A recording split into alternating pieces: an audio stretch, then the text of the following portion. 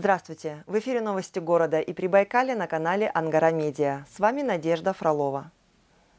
Злобные журналисты никак не оставляют в покое ангарских чиновников. На сайте babar24u.com появилась статья под заголовком «В Ангарске проблемы решают вместе. Свои за счет федерального бюджета». Речь идет о голосовании за проекты благоустройства общественных пространств. Из 31 претендента в городском округе выбрали 6. Набережная спуск к воде, Мигет, аллея любви на улице Ленина, территория на пересечении улиц Коминтерной Социалистической в 15 микрорайоне, площадь справа от ДК «Современник», ремонт фонтана и прилегающей территории, 93-й квартал, западнее пересечение улиц Карла Маркса из 40 лет октября, сквер вдоль Коминтерна возле магазина «Центральный». Цитата. «Если присмотреться повнимательнее к территориям, которые Петров выбрал для благоустройства за казенный счет, то мы увидим, что у трех территорий территории отсутствуют кадастровые номера земельных участков. Конец цитаты. После анализа автор материала Анна Амгейзер делает вывод, в первом случае не указан кадастровый номер участка, ведь строительство набережной проводили в том числе на федеральные деньги. Что касается фонтана и прилегающего участка, он имеет активное коммерческое использование, и бизнес вести лучше на благоустроенной за государев счет территории. На аллее любви в Мегете нет коммерческих интересов мэра, но есть предположение, эту территорию допустили для участия в программе с нарушениями только для того, чтобы местные жители не возмущались из-за откладывающегося шестой год ремонта виадука через железнодорожные пути. Альберт Домнин, Марина Минченко, Новости 360 Ангарск.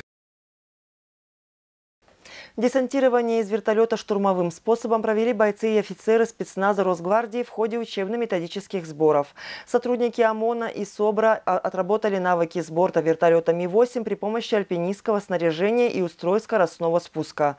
Инструкторы оценивали работу выпускающих сотрудников, руководящих действиями личного состава при десантировании, а также ведущих радиообмен с экипажем воздушного судна. Подобные совместные тренировки проводятся для совершенствования профессиональных навыков бойцов спецподразделений подразделений и повышение эффективности взаимодействия спецназа с экипажами авиации Росгвардии. Ребята приехали с различных э, городов. Это города Иркутск, э, Красноярск, Новосибирск, Томск, Республика Тыва и прочие субъекты, входящие в э, состав Сибирского военного округа.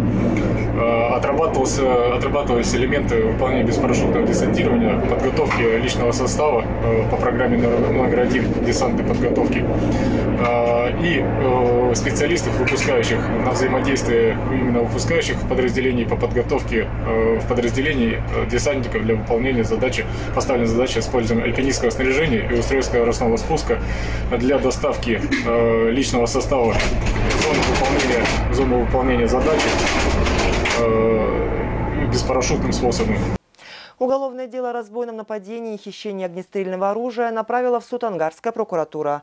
По версии следствия, в декабре прошлого года 49-летний местный житель, выпивая в гостях, избил хозяина квартиры, похитил имущество и карабин Сайга с патронами.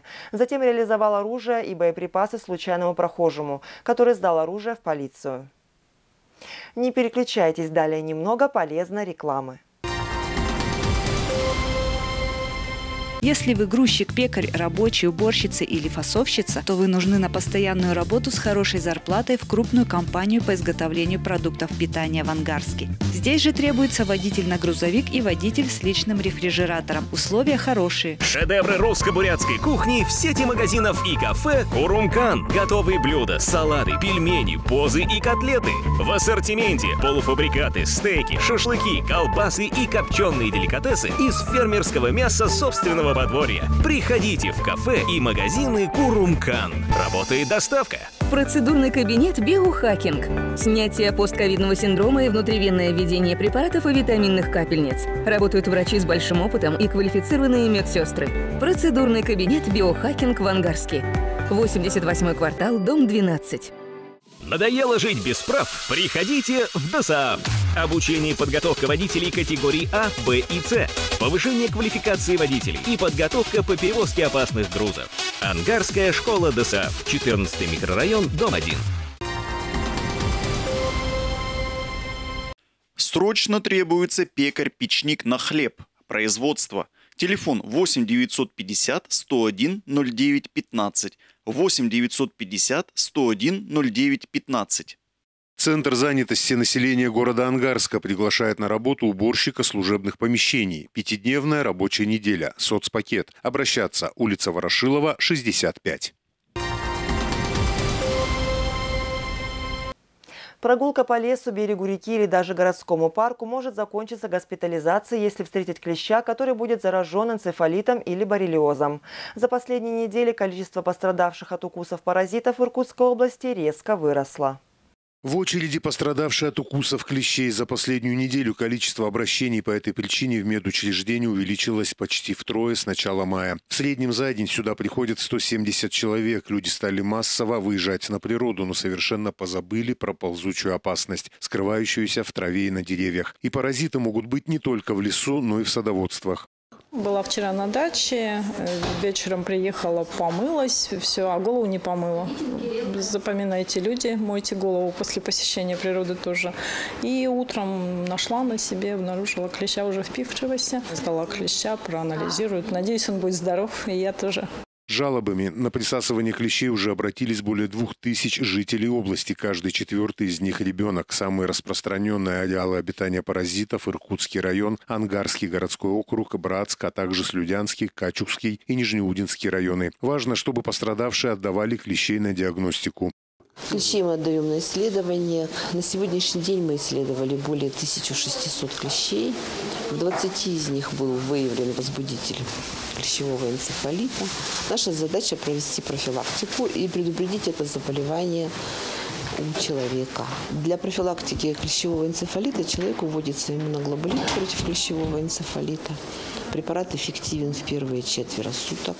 На сегодня вакцина есть только от энцефалита. В Сибири и Монголии обнаружены три новых вида клещей, которые могут быть переносчиками лихорадки западного Нила и чумы. Так что перед отправкой в лес стоит запастись репеллентами, а после прогулки тщательно осмотреть друг друга с головы до ног. Альберт Домнин при содействии НТС. Новости 360 Ангарск.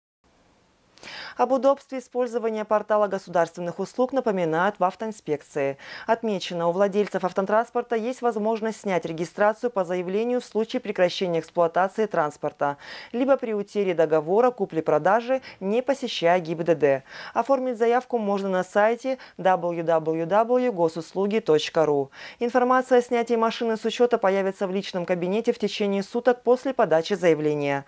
При этом собственник по своему желанию может сохранить за собой государственный государственные регистрационные знаки на один год. Ранее авто можно было снять с учета онлайн только в связи с продажей транспорта на основании договора купли-продажи.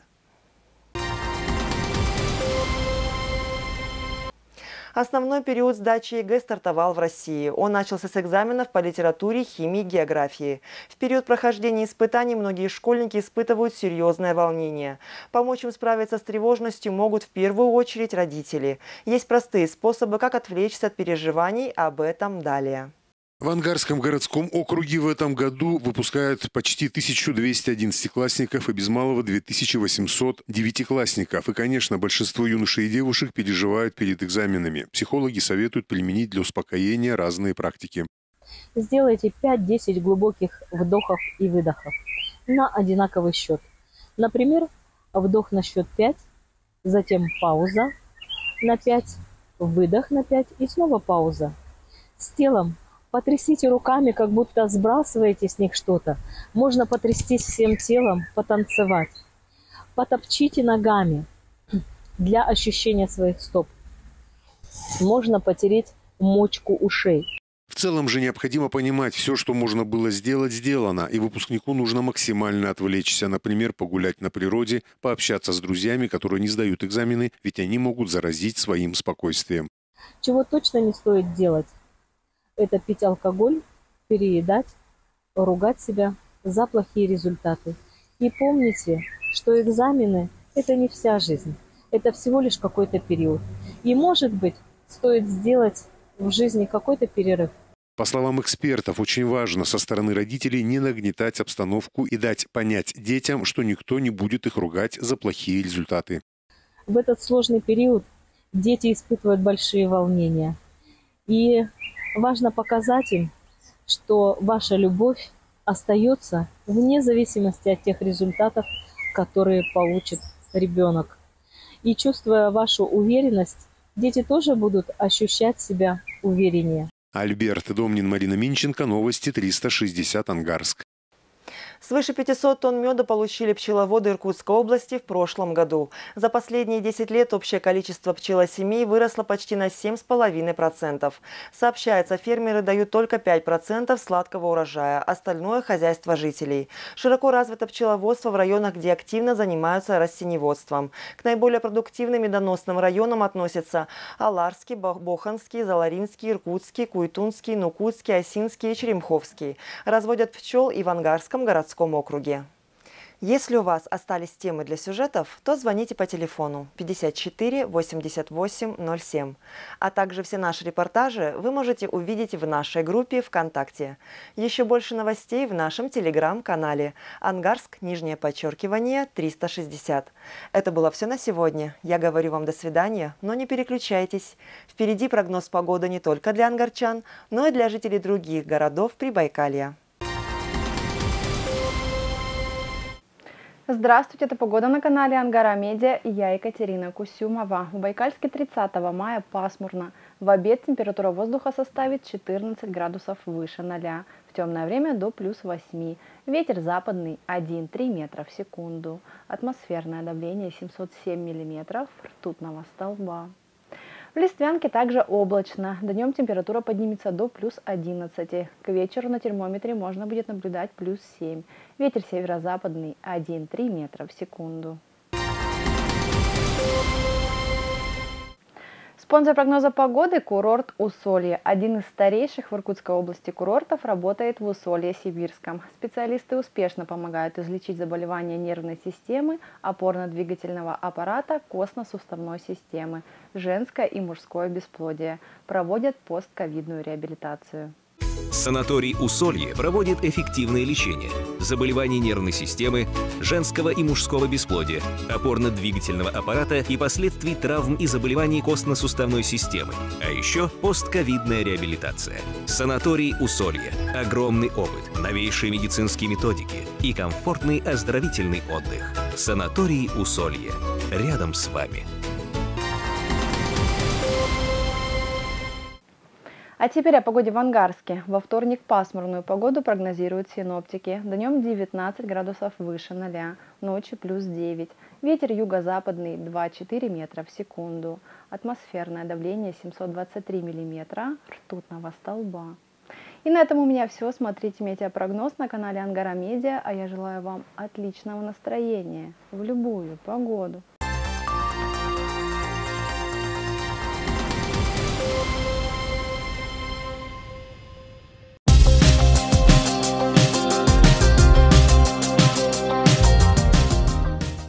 Прадед рассказывал мне о войне, как в танке сражались, горели в огне.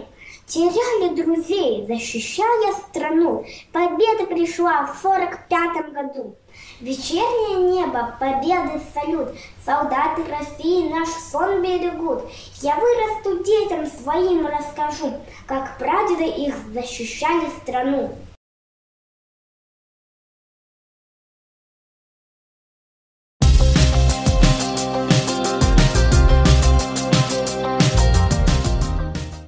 Нас весна по всем приметам.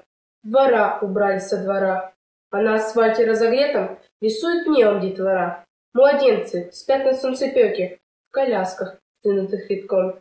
И кровельщик, вися на боке, стучит по трубам молотком. А на реке, водой и ветром, уже взмало толщу льда. И лед всплывает метр за метром, и сверху талая вода. Иду домой путем окольным, и вижу, издали сневы, как флаг, воздвинутый на Смольном, горит на фоне синевы. И с чувством гордости законной смотрю на город над рекой, обороненный и спасенный своей собственной рукой.